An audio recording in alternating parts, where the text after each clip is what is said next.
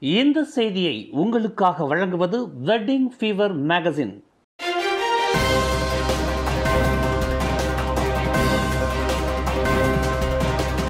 வணக்கம் திசைகளின் பத்து மணி செய்திகள். ரிங்கிட்டின் தொடர் சரிவு. நாடாளுமன்றத்தில் பிரதமர் விளக்கம் அளிக்க வேண்டும். மலேசியாவின் ரிங்கிட் மதிப்பு தொடர்ந்து வீழ்ச்சி கண்டு மோசமான நிலையை எட்டி வருவது குறித்து அடுத்த வாரம் தொடங்கவிருக்கும் நாடாளுமன்ற மக்களவைக் கூட்டத்தில் பிரதமர் டத்தோஸ்ரீ அன்வார் இப்ராஹிம் விளக்கம் அளிக்க வேண்டும் என்று Pasir Gudang P KR MP Hassan Abdul Karim கேட்டுக்கொண்டுள்ளார் இருபத்து ஆறு ஆண்டுகளுக்கு பிறகு மலேசிய ரிங்கிட் அமெரிக்க டாலருக்கு எதிராக கடும் வீழ்ச்சி கண்டுள்ளது. கவலையை ஏற்படுத்தும் அளவிற்கு ரிங்கிட்டின் இந்த தொடர் வீழ்ச்சி குறித்து உண்மையான நிலவரத்தை நிதி அமைச்சர் என்ற முறையில் டத்தோஸ்ரீ அன்வார் மக்களுக்கு விளக்கம் அளிப்பது முக்கியமாகும் என்று ஹசான் அப்துல் காரிம் வலியுறுத்தி உள்ளார் அரசாங்கத்தின் குறைகளையும் பலவீனங்களையும் சுட்டிக்காட்டி நிலைமையை மோசமாக்கும் நோக்கத்தை தாம் கொண்டிருக்கவில்லை என்றும் அரசாங்கத்தின் முதுகெலும்பாக விளங்கும் ஆளும் கட்சியைச் சேர்ந்த ஒரு நாடாளுமன்ற உறுப்பினர் என்ற முறையில் நடப்பு அரசாங்கம் இந்த விளக்கத்தை மக்களுக்கு அளிக்க வேண்டும் என்று தாம் விரும்புவதாகவும் ஹசான் அப்துல் காரிம் குறிப்பிட்டுள்ளார். அமெரிக்க டாலர் மற்றும் சிங்கப்பூர் டாலர் ஆகியவற்றுடன் ஒப்பிடுகையில் மலேசிய ரிங்கிட்டின் மதிப்பு வரலாறு காணாத வீழ்ச்சிக்கு என்ன காரணம் என்பதை விளக்குமாறு பிரதமரை கேட்டுக்கொள்வதற்கு தமக்கு உரிமை உண்டு என்பதையும் ஹசான் அப்துல் கரீம் தெளிவுபடுத்தினார். குடியுரிமை வழங்குவது தொடர்பாக அரசியலமைப்பு சட்டத்தில் கொண்டு வரப்படவிருக்கும் உத்தேச சட்ட திருத்தம் குறித்த பரிந்துரை அடுத்த மாதம் அமைச்சரவையில் சமர்ப்பிக்கப்படும் என்று உள்துறை அமைச்சர் டத்தோஸ்ரீ சைஃபுடின் நசுத்தியோன் இஸ்மாயில் தெரிவித்துள்ளார். வரும் மார்ச் மாதம் சமர்ப்பிக்கப்படும் இந்த உத்தேச பரிந்துரைக்கு அமைச்சரவை அங்கீகாரம் அளிக்குமானால் நாடாளுமன்றத்தில் அதன் மீதான சட்ட மசோதா தாக்கல் செய்யப்படும் என்று அமைச்சர் அறிவித்துள்ளார். எனினும் அதற்கு முன்னதாக இது குறித்து அமைச்சரவையில் விவாதிக்க வேண்டியுள்ளது என்று அவர் குறிப்பிட்டுள்ளார். தமது கணவரும் சரவா மாநில முன்னாள் ஆளுநருமான துன் அப்துல் தாய் மஹ்மூத் மரவி தொடர்ந்து அவரின் மனைவி தோப்வான் ரகாட் குர்டி மிகுந்த துயரில் மூழ்கியுள்ளார். சரவா மாநிலத்தை ஒரு நவீன மாநிலமாக உருவாக்கிய பெருமைக்குரியவரான எண்பத்தி ஏழு வயது தை மமூட் இன்று அதிகாலையில் கோலலும்பூரில் உள்ள மருத்துவமனையில் காலமானார். தமது கணவர் மமு தாயிர் தமக்கு எத்தகைய முக்கியத்துவம் வாய்ந்தவர் என்பதை விவரிக்க வார்த்தைகள் கிடையாது என்று ரகத் குர்டி குறிப்பிட்டுள்ளார். சிரிய நாட்டைச் சேர்ந்தவரான ரகத் குர்டி கடந்த ஈராயிரத்து பத்தாம் ஆண்டில் தமது இருபத்தி ஒன்பதாவது வயதில் சரவா மாநில முதலமைச்சராக பதவி வகித்த தாய் மம்முட்டை கரம் பிடித்தார். தனது சொத்து விவரத்தை முப்பது நாட்களுக்குள் அறிவிக்க வேண்டும் என்று துன் மகாத்தேர் முகமட்டின் புதல்வர் முக்சானி மகாதேருக்கு வழங்கப்பட்ட கால அவகாசத்தை மலேசிய ஊழல் தடுப்பு ஆணையமான எஸ்பிஆர்எம் மேலும் முப்பது நாட்களுக்கு நீட்டித்துள்ளது. தமக்கு வழங்கப்பட்டுள்ள முப்பது நாள் கால அவகாசத்தை அதிகரிக்கும்படி மொக்சானி மகாதேர் கடிதம் வாயிலாக அதிகாரப்பூர்வமாக கேட்டுக்கொண்டதைத் தொடர்ந்து அவருக்கு வழங்கப்பட்ட முப்பது நாள் கால அவகாசத்தை எஸ்பிஆர்எம் நீட்டித்துள்ளதாக அதன் தலைமை ஆணையர் தன்சி அசாம்பாக்கி தெரிவித்துள்ளார். சொத்து விவரங்கள் அறிவிக்கப்படுவது தொடர்பில் கடந்த வெள்ளிக்கிழமை மொக்சானியின் சகோதரர் மிர்சான் மகாத்திற்கு எஸ்பிஆர்எம் மேலும் முப்பது நாள் கால அவகாசம் வழங்கிய வேளையில் தற்போது மொக்சானிக்கு அதே போன்று கால அவகாசம் நீட்டிக்கப்பட்டுள்ளதாக அசாம்பாக்கி விளக்கினார்.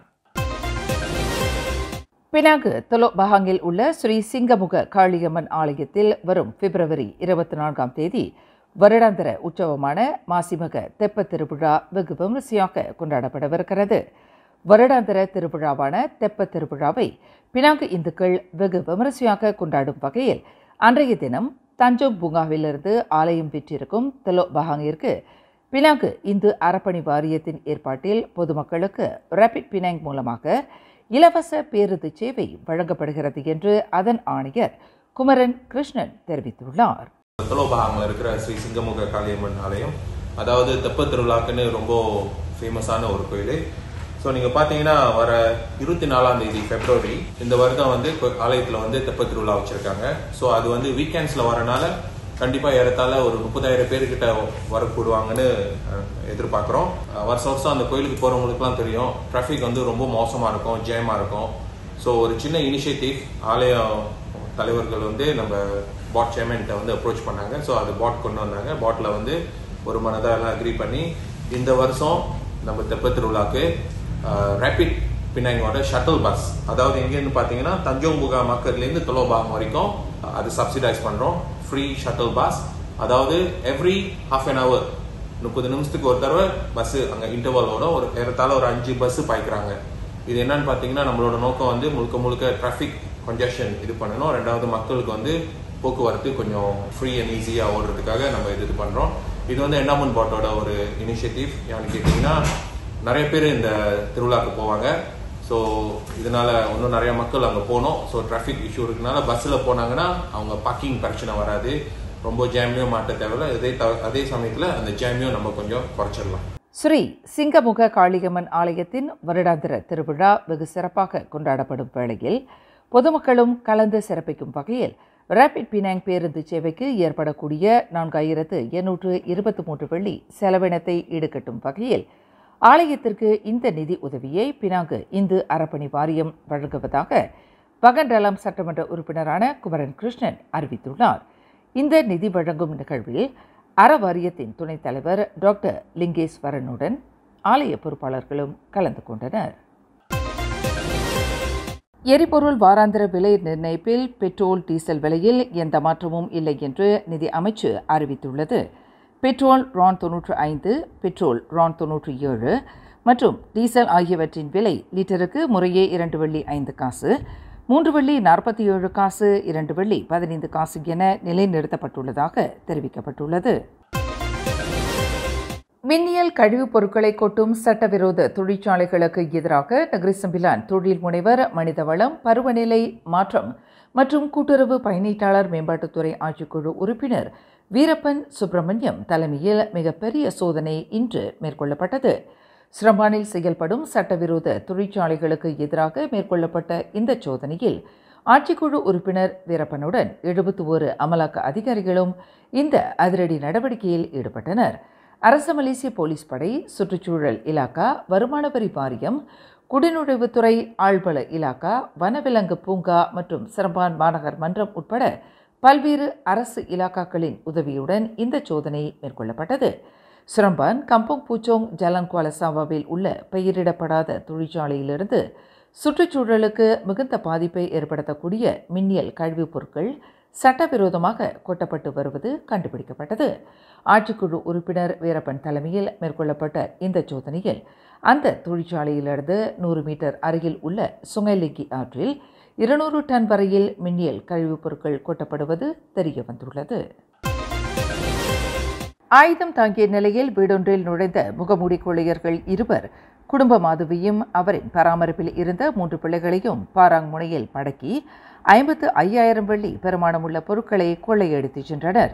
இச்சம்பவம் இன்று காலை ஆறு முப்பது மணி அளவில் தஞ்சுக் மாலிம் பண்டா பெஹ்ராங் வீடமைப்பு பகுதியில் நிகழ்ந்ததாக முவாலிம் மாவட்ட போலீஸ் தலைவர் முகமது ஹஸ்னி முகமது நசீர் தெரிவித்தார். ரொக்கப்பணம் மற்றும் தங்க ஆபரணங்களை அவ்விரு கொள்ளையர்களும் பறித்து சென்றுள்ளனர் என்பது விசாரணையில் தெரிய வந்துள்ளதாக அவர் குறிப்பிட்டுள்ளார்.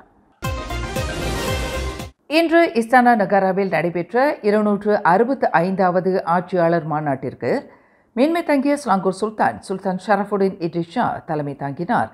ஆட்சியாளர்களின் இருநூற்று அறுபத்து நான்காவது சிறப்பு மாநாடு கடந்த ஜனவரி முப்பத்தி ஓராம் தேதி பதினேழாவது மாமன்னர் சுல்தான் இப்ராஹிமின் பதவியேற்பு சடங்குடன் இணைந்து நடைபெற்றது. இன்று தொடங்கிய இந்த இரண்டு நாள் மாநாட்டில் துரங்கானோ சுல்தான் மிசான் சைனால் அபிடின் கிடா சுல்தான் சலைகுடின் Sultan பர்லிஷா Perak Sultan Nazrin Shah Negeri Sembilan சமஸ்தானபதி Tuanku Muhriz Tuanku Munawir ஆகியோர் கலந்து கொண்ட ஆட்சியாளர்களில் அடங்குவர். இந்நாட்டில் வேலை செய்கின்ற அனைத்து தொழிலாளர்களுக்கும் அவர்களின் பெருநாள் காலத்தின் போது கட்டாயம் ஒரு மாத சம்பளம் போனஸ் தொகையாக வழங்கப்பட வேண்டும் என்று அரசாங்கத்திற்கு விடுக்கப்பட்டுள்ள கோரிக்கைக்கு முதலாளிகள் சங்கம் எதிர்ப்பு தெரிவித்துள்ளது. மலேசிய சமூக பாதுகாப்பு சந்தாதாரர்கள் சங்கம் முன்வைத்துள்ள இந்த பரிந்துரை இந்நாட்டில் உள்ள முதலாளிகளுக்கு பெரும் நிதிச்சுமையை ஏற்படுத்திவிடும் என்று மலேசிய முதலாளிகள் சங்க தலைவர் Datuk doctor Syed Hussein Syed Husman தெரிவித்துள்ளார். கோவிட் பத்தொன்பது தொற்று நாட்டை உலுக்கிய போது ஏற்பட்ட பாதிப்பில் இருந்து அதிகமான முதலாளிமார்களும் நிறுவனங்களும் இன்னும் மீட்சி பெறவில்லை. இந்நிலையில் தொழிலாளர்களுக்கு பெருநாள் போனஸ் தொகையாக ஒரு மாத சம்பளம் வழங்க வேண்டும் என்று கட்டாயப்படுத்துவது முதலாளிமார்களுக்கு பெரும் நிதி நெருக்கடியை ஏற்படுத்திவிடும் என்று டாக்டர் சைட் ஹுசைன் நினைவுறுத்தி உள்ளார் மலைப்பாங்கான பாதையில் சென்று கொண்டிருந்த போது வாகனத்தின் மீது பாறை ஒன்று சரிந்து விழுந்ததில் அதன் ஓட்டுநர் இடிபாடுகளுக்கிடையில் சிக்கி மரணமுற்றார். இச்சம்பவம் இன்று பிற்பகல் பன்னிரண்டு இருபத்தி ஏழு மணியளவில் சபா தனோம் மன்சாம் என்ற இடத்தில் நிகழ்ந்தது. ஹூ காச்சியோங் என்று அடையாளம் கூறப்பட்ட அறுபத்து ஆறு வயது நபரை இச்சம்பவத்தில் மாண்டதாக தீயணைப்பு மீட்பு படையினர் தெரிவித்தனர். தனோமிலிருந்து சம்பவ இடத்திற்கு ஐம்பத்து ஐந்து கிலோமீட்டர் தூரம் வரை சென்று மீட்பு நடவடிக்கையில் வீரர்கள் ஈடுபட்டதாக அதன் பேச்சாளர் குறிப்பிட்டார். கொலம்பூர் மாநகரில் தலா ஈராயிரத்து ஐநூறு வெள்ளி வாடகையில் மூன்று ஆடம்பர அடுக்குமாடி வீடுகள் போதைப்பொருள் பதுக்கி வைப்பதற்கு கிடங்காக பயன்படுத்தப்பட்டு வந்த நடவடிக்கையை புக்கிட் அமான் போலீசார் முறியடித்துள்ளனர். சுராஸில் உள்ள அந்த மூன்று வீடுகளிலும் போலீசார் மேற்கொண்ட திடீர் சோதனை நடவடிக்கையில் எழுபத்து ஆறு லட்சம் வெள்ளி மதிப்புள்ள பல வகையான போதைப்பொருள் கைப்பற்றப்பட்டதாக புக்கிட் அமான் போலீஸ் தலைமையகத்தின் போதைப்பொருள் துடைத்தொழிப்பு பிரிவின் இயக்குனர் Datuk Seri Mohamad Kamarudin Mohamad Din தெரிவித்துள்ளார். கடந்த பிப்ரவரி பதினான்காம் தேதி மேற்கொள்ளப்பட்ட இந்த சோதனையில் போதைப்பொருள் கடத்தலுக்கு மூளையாக இருந்து செயல்பட்டதாக நம்பப்படும் நபர் உட்பட இரண்டு நபர்களை போலீசார் கைது செய்திருப்பதாக அவர் குறிப்பிட்டார். திசைகள் குழுமத்தில் பணியாற்றுவதற்கு நிருபர்கள் தேவை.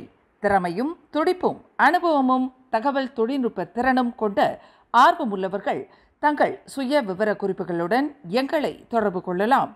ஆங்கிலத்தில் சரளமாக உரையாடவும் எழுதவும் படிக்கவும் திறன் கொண்டவர்களுக்கு முன்னுரிமை. மேலும் செய்திகளை தெரிந்து கொள்ள கீழே இருக்கும் பெல் பட்டனை அழுத்துங்கள். உங்கள் மகிழ்ச்சியை வெளிப்படுத்த லைக் மற்றும் ஷேர் செய்யுங்கள். தொடர்ந்து திசைகளோடு இணைந்திருக்க சப்ஸ்கிரைப் செய்ய